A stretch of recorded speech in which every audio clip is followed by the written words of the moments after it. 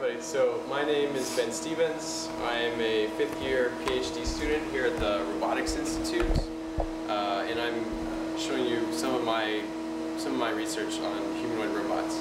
Uh, this is our humanoid robot. Uh, it doesn't really have a name. We call it the Sarcos robot because it was built by this company Sarcos. Uh, it's a very unique robot in the in the field of humanoid robots. Uh, it's you know, it's a full body robot. It has hydraulic actuators. It has lots of degrees of freedom and it's roughly human-like in that the proportions and speeds and forces are similar to humans.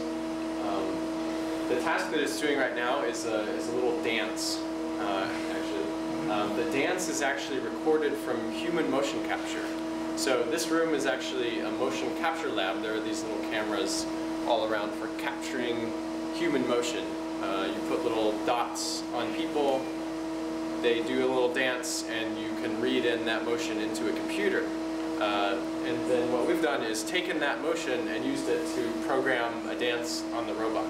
So it'd be really difficult to program a dance on the robot by hand, but by just having a person do a dance, it's really easy. So you get this. Um, the additional difficulty uh, where my research comes in is that uh, it, it, has to do this while balancing. So uh, it's not just playing back joint motions, it's, it's actively balancing while trying to follow that motion as well as it could. So if I come up and, and kind of hit it, it's very you know, compliant. Um, and that's more like a person. So a person is constantly adjusting your balance all the time. And so it's not just a rigid robot. It's actually kind of alive. And so while it's swinging its arms around, it has to be adjusting its balance. And so that's, that's what it's doing.